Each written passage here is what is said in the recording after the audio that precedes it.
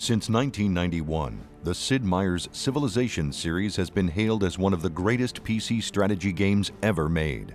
This September, the flagship of the series returns Sid Meier's Civilization V. With an all new game engine and lush, incredible graphics, Civilization V earns its position as the ultimate strategy game experience and the finest civilization ever developed. In Sid Meier's Civilization V, players strive to become ruler of the world by establishing and leading a civilization from the dawn of man into the space age, waging war, conducting diplomacy, discovering new technologies, going head to head with some of history's greatest leaders, and building the most powerful empire the world has ever known. What if you were conquering the entire world, building a civilization to stand the test of time? All these cool things we could include. Uh, technology, history, uh, military conquest, politics, culture, diplomacy. Uh, it just seemed like a very rich topic to, to approach with this idea of starting small, but then at, by the end of the game having gone through this kind of epic journey to uh, create a, a unique story of your own.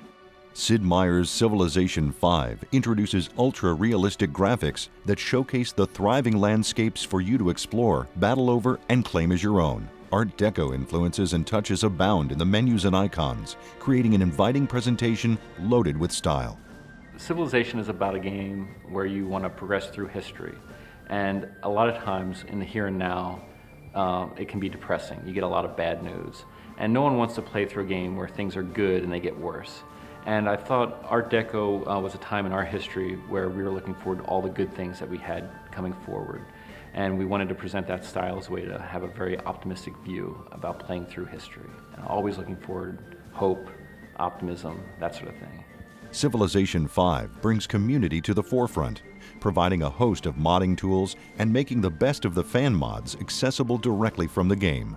The Civ community has been pretty much vital to the development of this Civ and previous Civs. They are the driving force behind Civ, I would say.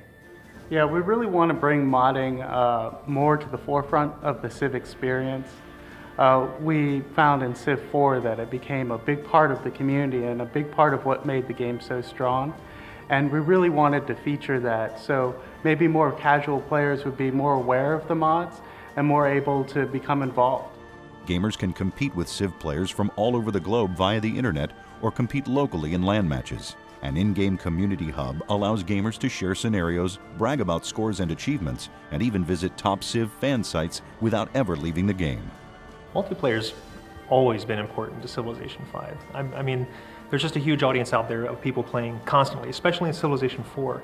Uh, there's entire communities built around having tournaments, uh, even, what is it now, four or five years since the release of the last yeah, one? Yeah, five. It's huge, and, and they have these sites that have modded the game in such a way that all the reporting comes straight into the websites. Uh, it's just it's just ongoing, so extremely important. Because you are working with another opponent, uh, another human will always be able to outthink even the best AI. Uh, they'll make mistakes and the AI won't. Um, or they'll just do things that really logically have no sense, but you have no way of anticipating.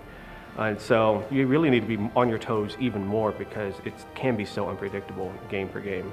Sid Meier's Civilization V features an intuitive interface and ingenious scalability, offering both casual and fully detailed in-depth gameplay options. So we want to make sure we kept the same amount of depth as you would see in Civ 4 and uh, you know, really make a game that had that in mind and, and kept that uh, tradition alive.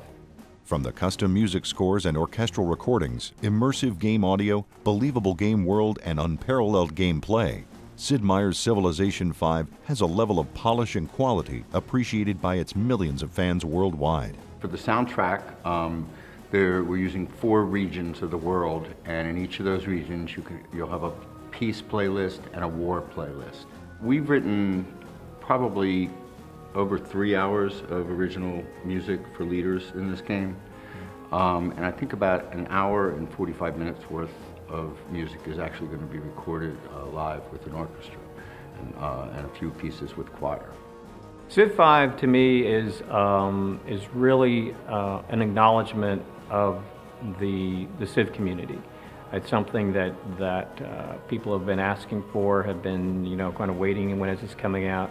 I think it, it really is a reflection of how strong the community is out there, how many ideas they've generated, how they've kind of inspired us to be creative and try new things with, with Civilization. So it's really uh, the fact that there's this very um, active, dynamic, uh, uh, and, and, and interactive community out there that kind of inspires us to do new versions of Civilization because you know, they, they've given us a, a lot of great feedback, uh, a lot of love on Civ 4, uh, but now they're kind of ready for, uh, for the next iteration, and, and, and that's what Civ 5 represents.